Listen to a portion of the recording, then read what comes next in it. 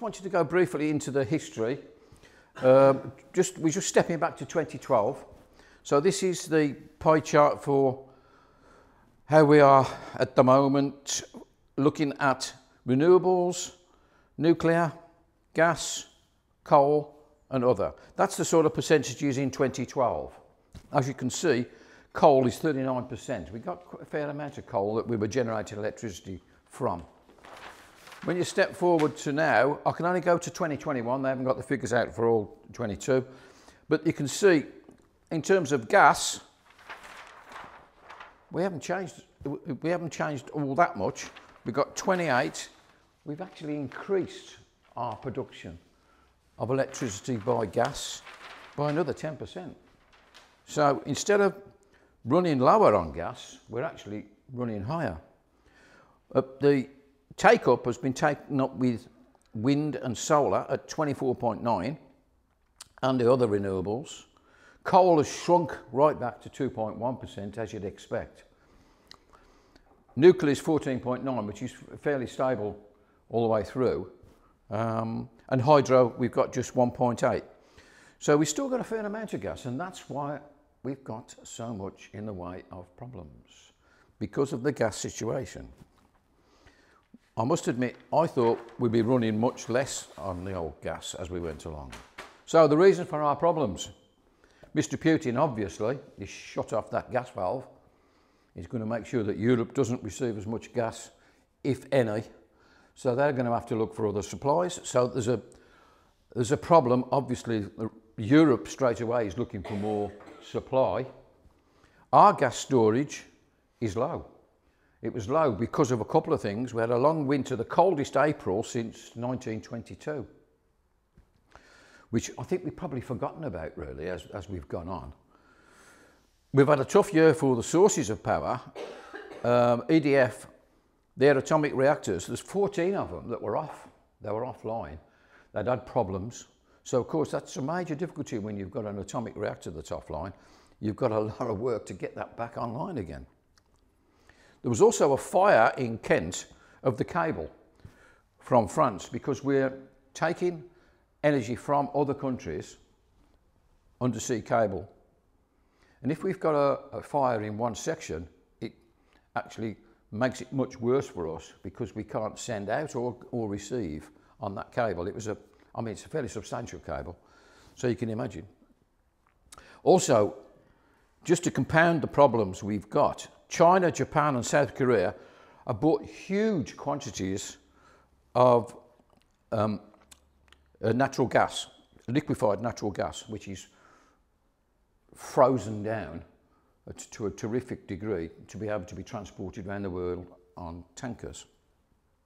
So these are big players. China, Japan, South Korea, they really are big players. And the sixth problem, the reason why we've got a problem, is there's a lack of long-term planning. I didn't want to get political, but that's our biggest problem, really. If you haven't got money that actually can see further ahead, if you look at the Chinese pattern, or if you look at some of the larger um, people in the world, as it were, countries in the world, their planning is much more long term than ours. They know what they're getting into, they know what they need to be doing, and they put provision to get there.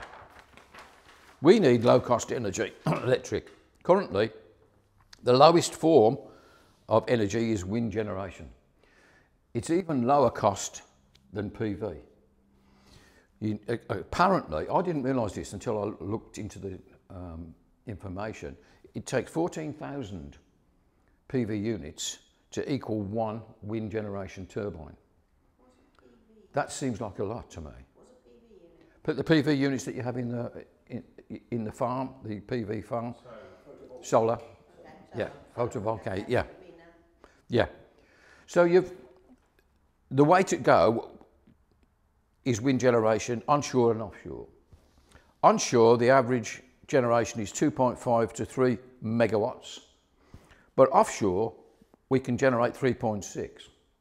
The reason is each blade on the offshore ones, they're 220 metres long. You imagine that, 220 metres, it's a fair old whack.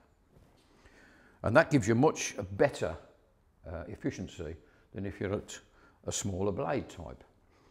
One of the reasons why we haven't got the sort of um, sizes of wind turbine is political. uh, Mr Cameron, bless his heart, he stopped the companies from building any bigger than that in this country and said, no, we're going to stick to a regulation that's uh, a specific size. And so we are now bound by those type of rules. They've got to have a lot of changes to get that different again. So there's no tip height regulations for offshore, so they can build them as big as you like. So they can, I mean, the Norwegians have got lots of big ones now, and we're going to follow suit as we go along. So the future, as far as generation is concerned, is a blank sheet of paper really with regard to what we need to do next.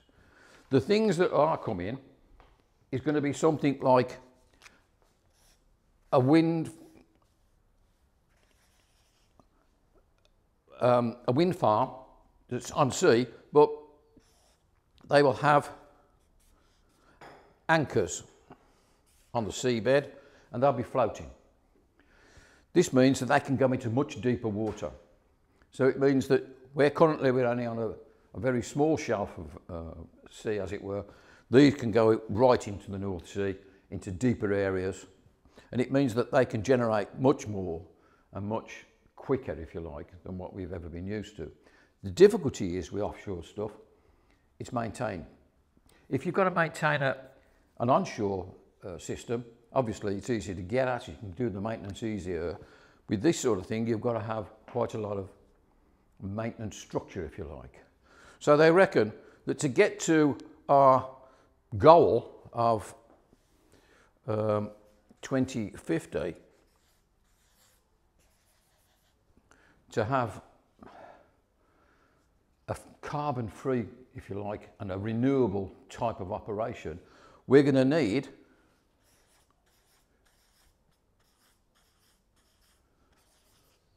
that sort of number of jobs. It's going to generate 600,000 type of jobs in that industry to get us where we want to be. So there's going to be a lot of opportunity for job creation as we go along. But it means if we don't go this route and we just drag our feet, we're going to be using this bloody gas for a long time. And we're going to be stymied by people like the Russians who are going to be continuously shutting down that gas. The only way out for us is to go renewable and probably renewable offshore. Are there any questions?